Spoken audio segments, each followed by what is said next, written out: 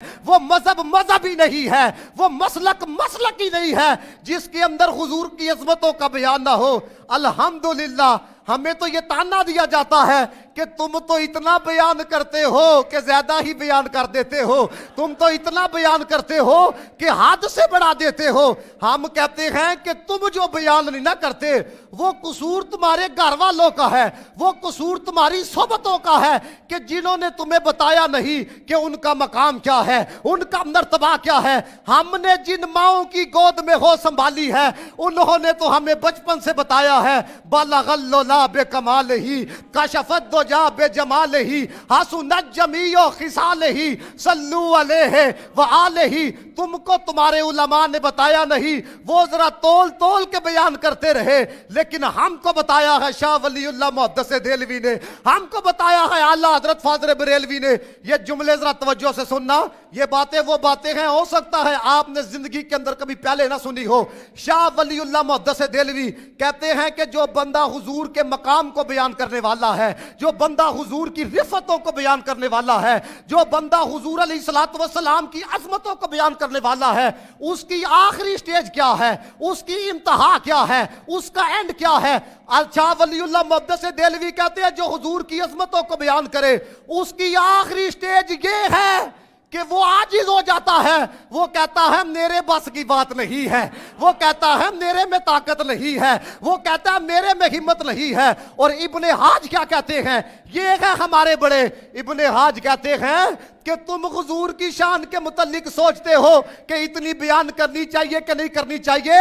इब्ने आज कहते हैं, जिस मट्टी पे मुस्तफ़ा ने कदम रखा है, उस मट्टी की अजमतों को बयान नहीं किया जा सकता तो हजूर के मकाम मरतबे को केड़ा बयान कर सकता है? और अलामा इबन बुसीरी ने क्या लिखा? इमाम बुसीरी कहते हैं, वो कहते हैं, हजूर के मुतलिक वो नहीं कहना जो यहूदियों ने कहा था, वो नहीं कहना जो ईसाइयों ने कहा था। यहूदियों और ईसाइयों ने अपने नबी के मुतल कहा, एक ने कहा, जी नवजुबिल्ला हमारा नबी खुदा है। एक ने कहा, जी, हमारा नबी जो है, वो अल्लाह का बेटा है। फरमाया, ना खुदा कहना है, ना बेटा कहना है। इसके बाद तू जो भी कहेगा वो तेरे लफज छोटे हैं। मुस्तफ़ा का मकाम वराउल वरा है।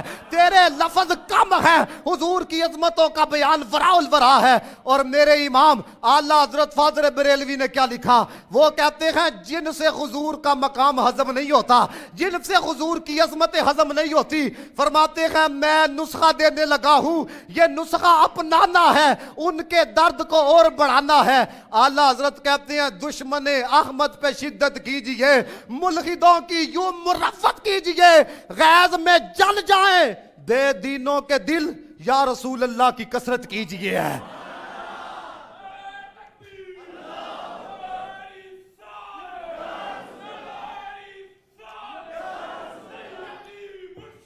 यान,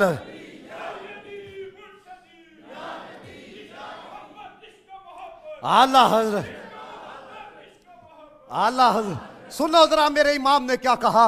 आला हज़रत फादर बरेलवी कहते हैं आला हज़रत कहते हैं, गैज, में जल जाए दुश्मनों के दिल। या रसूल अल्लाह की कसरत कीजिए। फिर आगे आला हज़रत इनको झंझोड़ते हैं। कहते हैं, जालमो, महबूब का यही हक था कि इश्क के बदले अदावत कीजिए।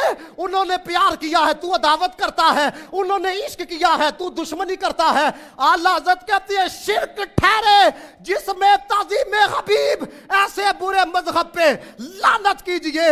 और सुनो मेरे इमाम ने क्या लिखा आला हज़रत कहते हैं, पूरी कायनात के अंदर अम्बिया हो, वो सहाबा हो, वो ताबईन हो, वो मुजताहिदीन हो, कहते हैं, पूरी कायनात के अंदर कोई माई का लाल ऐसा नहीं है जो इस बात पे कादिर हो, जिसमें ये ताकत हो, जिसमें ये हिम्मत हो कि वो ये कहे कि मैं कमा हक हूँ, हुजूर के मकाम को बयान कर सकता हूँ। मैं कमा हक हूँ, हुजूर की असमतों को बयान कर सकता हूँ।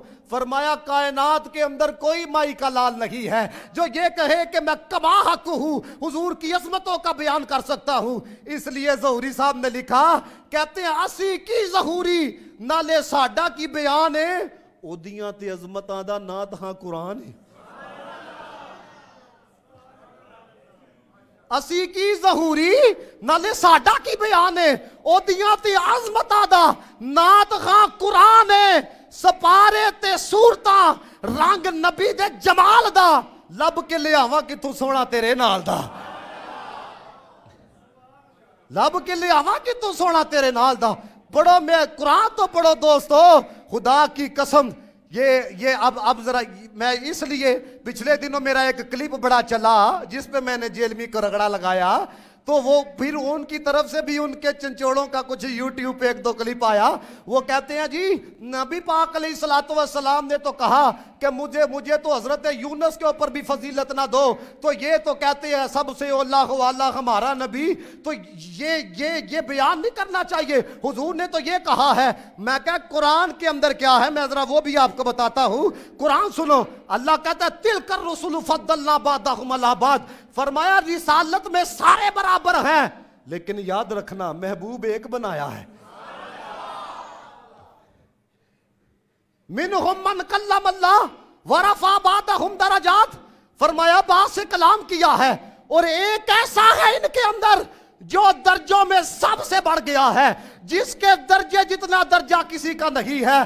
कोई छठे फलकते यार गया, कोई सिदरा जाके हार गया। एक कालिया जुल्फा वाला सी जड़ा लंगर शाह तो पार गया। मैं इसलिए ये समझो जरा इस बात को, अल्लाह के बंदो लोगों को समझ नहीं है कि हुजूर की शख्सियत क्या है। लोगों को पता ही नहीं है। मैं आपको यहाँ पे एक बात ना बताऊँ। सिर्फ़ ये इशारा दे के ना तो मैं फिर आयत करीमा की तरफ़ आपको लेके आता हूँ।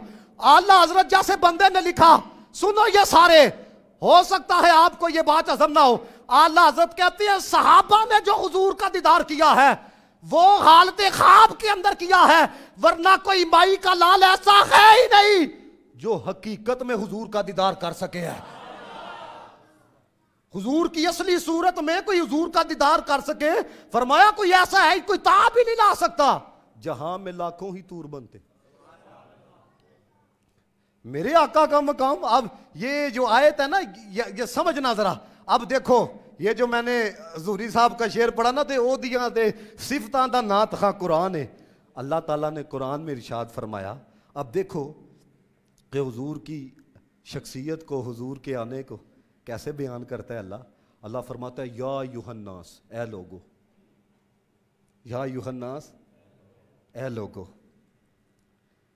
ये जो है ना, ए लोगो, ये भी नाते मुस्तफ़ा है। आपको याद होगा ना, मैंने आज पे जुमा पढ़ाया था तो मैं एक एक आयत तो दसिया ही कि नाते मुस्तफ़ा है।